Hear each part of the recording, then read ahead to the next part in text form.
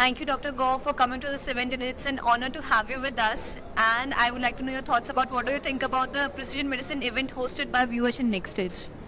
I think uh, this is uh, very futuristic, and uh, probably I would say futuristic because it's just precision medicine is something that is happening.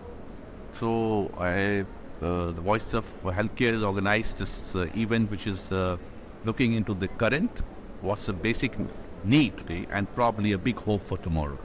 So it's a wonderful topic, wonderful event, and I'm sure uh, the, knowledge and information in the panels what we have, they are full of uh, information and probably a beacon of hope. And especially on this day of uh, Easter, when we talk about the it's the day of hope. And I'm sure uh, precision medicine has been the future, and uh, even by the voice of healthcare, uh, probably is leading us to something that is uh, going to be the future, and of course being practiced uh, in next probably five years. It's already been practiced, but I think next decade will be full of it. That's a nice event. And my next question would be the panel which we had on that basis only. Like, what do you think are the key components of precision medicine as it relates to patient centric care in India? See, precision medicine is something what is like uh, tailor-made to an individual. Because uh, when we talk about the panel, we talk about this topic, what we need today is like a patient-centric. Because it cannot be a generalized medicine. Everybody, everybody taking a painkiller and that's what, what, no. Every individual is dynamic. Our body is dynamic. Every individual has something like a very diverse and unique genetic makeup.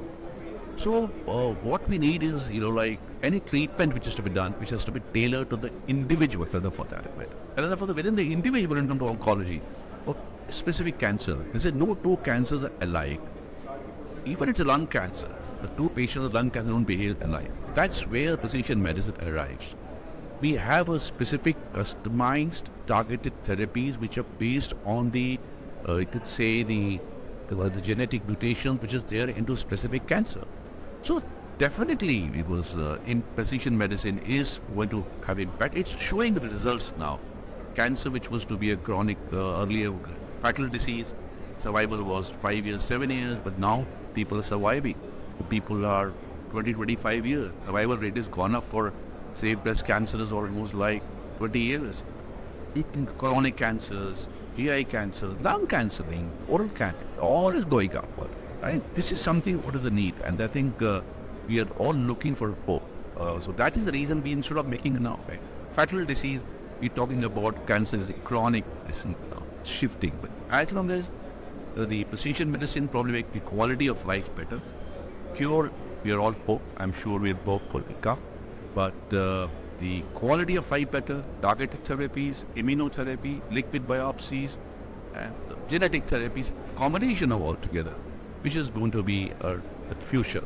And not only for oncology, I think and on here, it's going to be for uh, lifestyle disorders. It would be for, say, diabetes, neurological, dementia, Alzheimer's, Parkinson's, many, many, many much more. And I look forward uh, for the, in, the new era of precision medicine, where everything will be precise and customized to the individual needs. Yes.